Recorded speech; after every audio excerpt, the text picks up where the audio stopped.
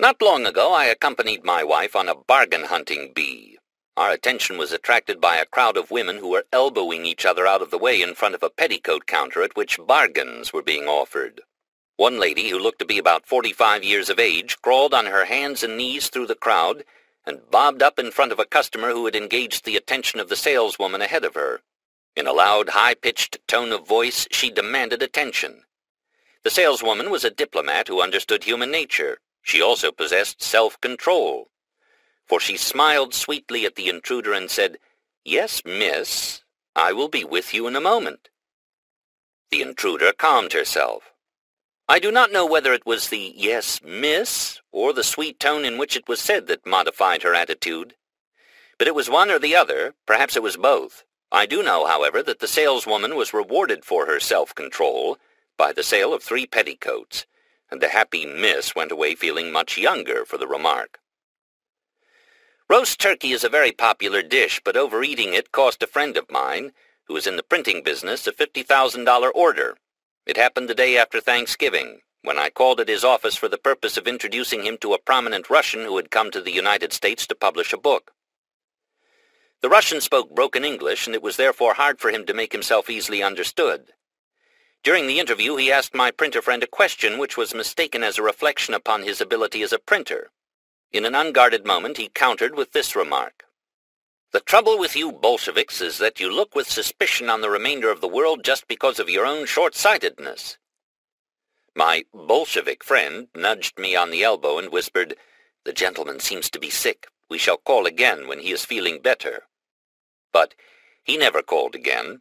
He placed his order with another printer, and I learned afterward that the profit on that order was more than $10,000.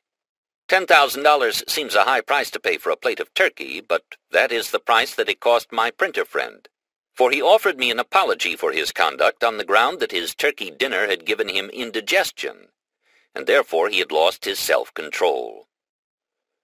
One of the largest chain store concerns in the world has adopted a unique, though effective method of employing salespeople who have developed the essential quality of self-control, which all successful salespeople must possess. This concern has in its employ a very clever woman who visits department stores and other places where salespeople are employed and selects certain ones whom she believes to possess tact and self-control. But to be sure of her judgment, she approaches these salesmen and has them show her their wares.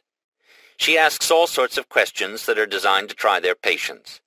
If they stand the test, they are offered better positions. If they fail in the test, they have merely allowed a good opportunity to pass by without knowing it. No doubt all people who refuse or neglect to exercise self-control are literally turning opportunity after opportunity away without knowing it. One day I was standing at the glove counter of a large retail store talking to a young man who was employed there. He was telling me that he had been with the store four years, but on account of the short-sightedness of the store, his services had not been appreciated, and he was looking for another position. In the midst of this conversation, a customer walked up to him and asked to see some hats. He paid no attention to the customer's inquiry until he had finished telling me his troubles, despite the fact that the customer was obviously becoming impatient. Finally, he returned to the customer and said, This isn't the hat department.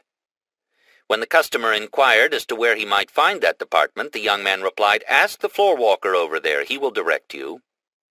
For four years, this young man had been standing on top of a fine opportunity, but he did not know it. He could have made a friend of every person whom he served in that store, and these friends could have made him one of the most valuable men in the store, because they would have come back to trade with him. Snappy answers to inquiring customers do not bring them back. One rainy afternoon an old lady walked into a Pittsburgh department store and wandered around in an aimless sort of way, very much in the manner that people who have no intention of buying often do. Most of the salespeople gave her the once-over and busied themselves by straightening the stock on their shelves so as to avoid being troubled by her. One of the young men saw her and made it his business to inquire politely if he might serve her. She informed him that she was only waiting for it to stop raining, that she did not wish to make any purchases.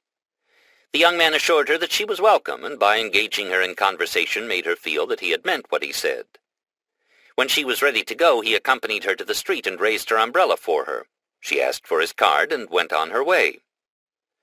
The incident had been forgotten by the young man when, one day, he was called into the office by the head of the firm and shown a letter from a lady who wanted a salesman to go to Scotland and take an order for the furnishings for a mansion. That lady was Andrew Carnegie's mother. She was also the same woman whom the young man had so courteously escorted to the street many months previously. In the letter, Mrs. Carnegie specified that this young man was the one whom she desired to be sent to take her order.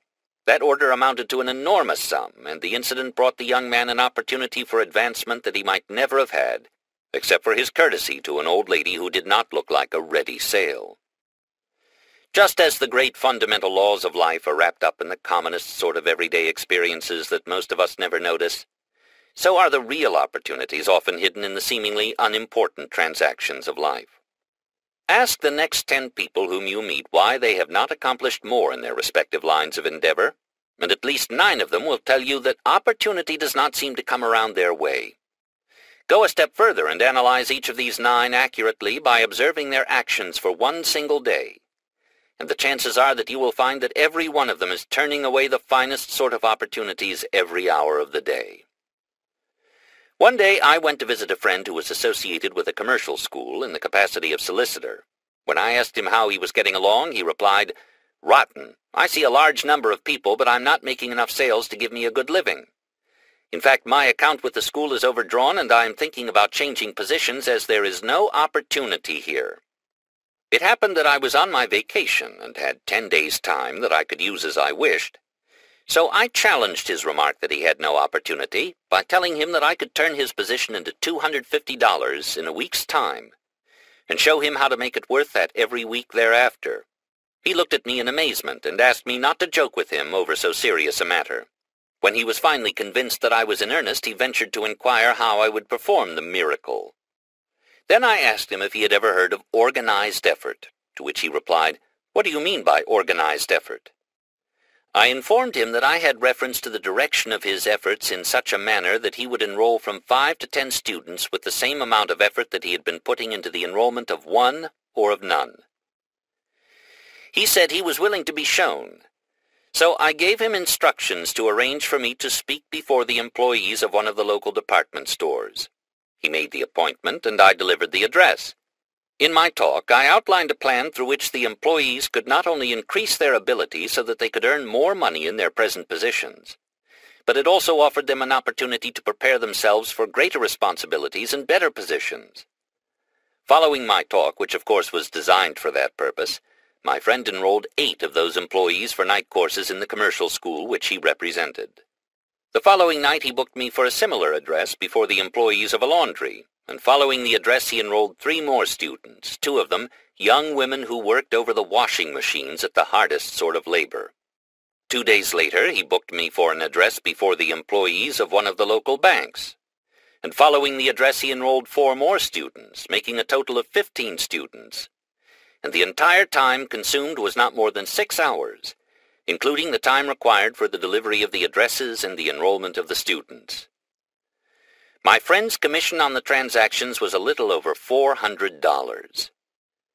These places of employment were within 15 minutes' walk of this man's place of business, but he had never thought of looking there for business. Neither had he ever thought of allying himself with a speaker who could assist him in group selling. That man now owns a splendid commercial school of his own, and I am informed that his net income last year was over $10,000.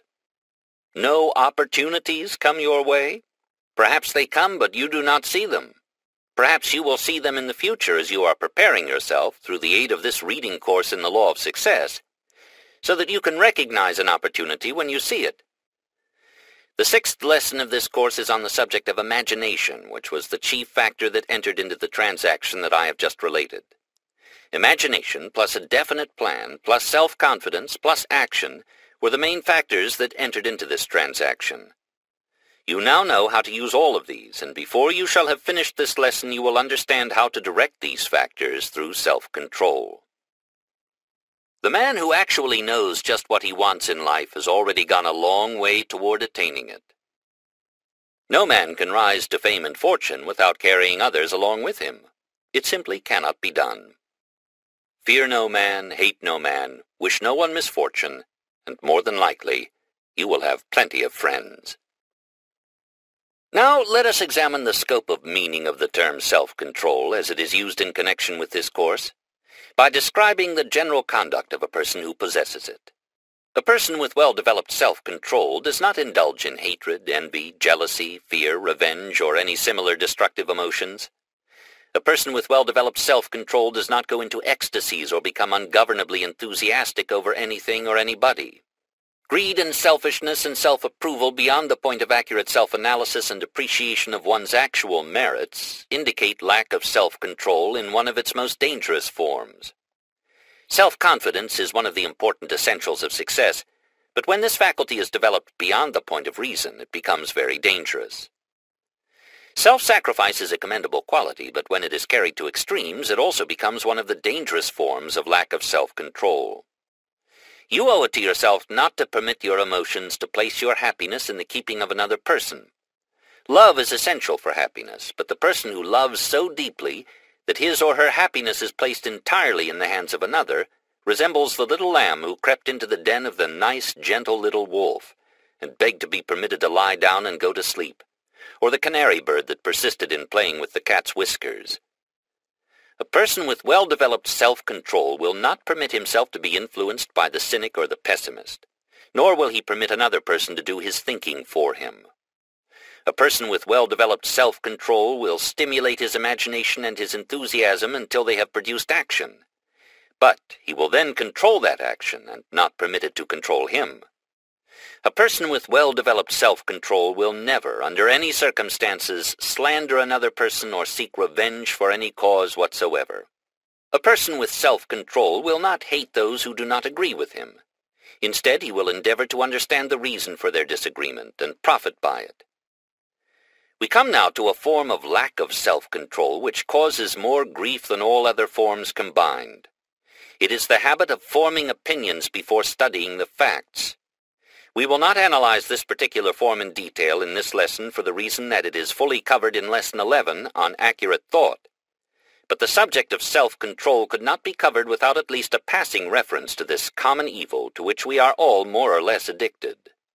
No one has any right to form an opinion that is not based either upon that which he believes to be facts or upon a reasonable hypothesis. Yet if you will observe yourself carefully, you will catch yourself forming opinions on nothing more substantial than your desire for a thing to be or not to be.